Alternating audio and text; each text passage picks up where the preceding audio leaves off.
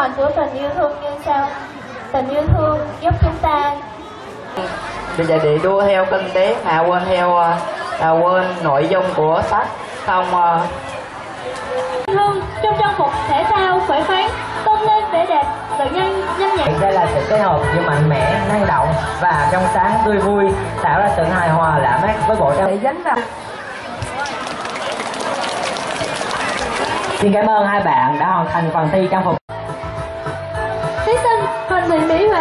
và Nguyễn Hoàng Vinh. Này nhưng đã trở thành tạo dáng tự tin, chững chạc với tuổi học sinh, đồng thời tôn lên vẻ đẹp của một trang phục truyền thống Việt còn trẻ trung năng động ước mơ trở thành một viên cảnh sát dũng cảm bảo vệ an ninh cho đất nước. Lê Thị Hương Lan với trang phục thể thao được thiết kế từ chất liệu vải trang phục thể thao với một phong cách vô cùng trẻ trung mạnh mẽ đầy cá tính. áo trắng tạo sự trang nhã thanh lịch sở thích là tham quan. Điền. Trong trang phục quần đen kết hợp với áo thun màu xanh. Màu đen kiểu dáng oversize tối giản nhưng hiện đại kết hợp với váy jean lưng cao đậm chất môn tiếng Anh.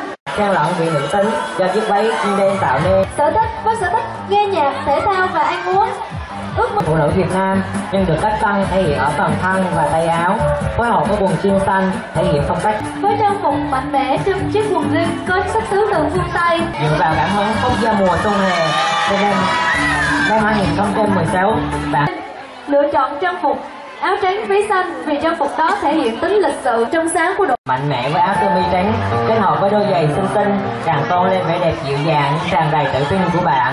Sở thích là đọc sách và xem phim. Bạn Lê Thị Thúy Vân với chiếc váy ngắn màu kem chất liệu von mềm mại tôn lên vẻ đẹp sang hiện cá tính